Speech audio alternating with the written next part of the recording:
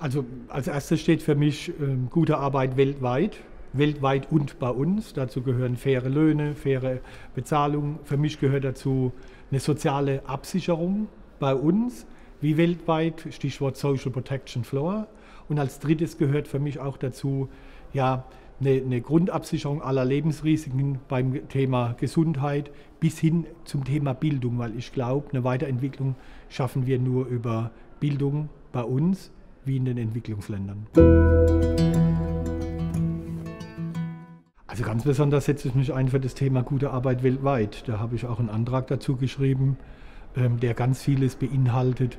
Ich sage mal so unter dem groben Obertitel, äh, wer zahlt denn eigentlich für unseren Konsum?